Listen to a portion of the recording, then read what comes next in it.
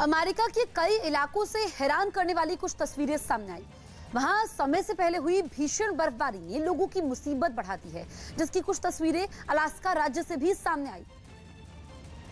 जहाँ इतनी बर्फ़ गिरी की सड़कें बर्फ़ से ढकी नज़र आईं। सबसे ज़्यादा मुसीबत तो अलास्का के सबसे बड़े शहर, एंकरेज में रहने वाले लोगों के सामने खड़ी हुई। बताया गया कि वहाँ लगभग 16 से 18 इंच तक बर्फ़ गिरी जिसकी वजह से लोगों के घरों के बाहर, सड़क पर कहीं भी बर्फ़ के ऊँचे ऊँचे टीले बन गए। गलियाँ, सड़कें और गाड़ियाँ सब पर बर्फ़ की चादर बिछ गई।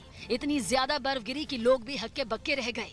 आसमान से बर्फ़ की आफत बरसने से रास्तों पर बर्फ़ के ढेर लगते चले गए। हालाँकि सड़कों पर जमा हो रही बर्फ़ को हटाने के लिए कई गाड़ियाँ भी अपने काम में जुटी दिखी। कुछ लोग मौसम में अचानक हुए इस बदलाव का मज़ा उठाते भी दिखे।